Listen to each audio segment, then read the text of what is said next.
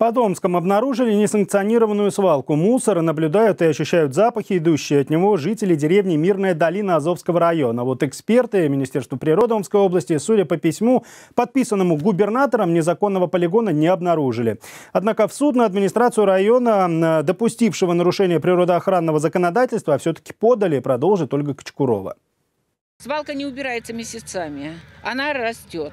Мало того, что на дорогу она, летом она горит дышать в деревне нечем. Так ситуацию с несанкционированной свалкой в километре от своего дома описывает жительница деревни символичным названием «Мирная долина» Лариса Комышева.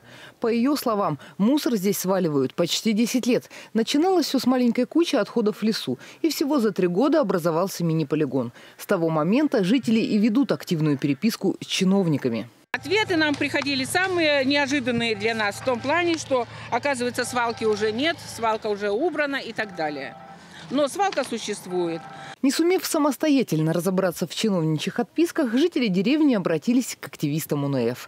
Но яснее ситуация не стала. Написали э, письма в Росприроднадзор, природоохранную прокуратуру, губернатору Омской области, а, на что мы получили замечательный ответ – по результатам рейда Министерства природных ресурсов свалки в этом месте не обнаружено.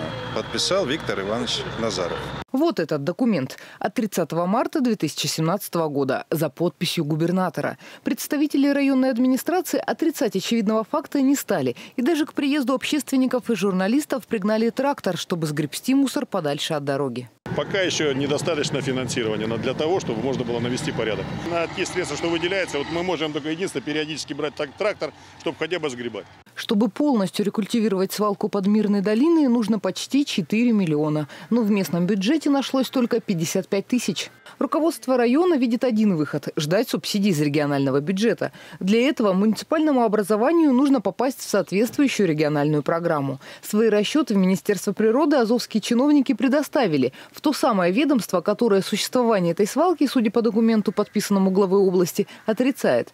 От 21 февраля 2017 года были обращения от людей о том, что на территории существуют несанкционированные свалки. Информация была проверена специалистами министерства. Были проведены рейдовые мероприятия, в ходе которых места свалок не выявлены. Но мы не исключаем того, что сейчас из-за такого резкого потепления снег мог сойти и мог появиться какой-то мусор. То есть могла образоваться снова свалка. В Минприроде отметили, что если жители обратятся еще раз, то специалисты ведомства готовы выехать на место повторно и принять меры. Опять же, если мусор они все-таки заметят.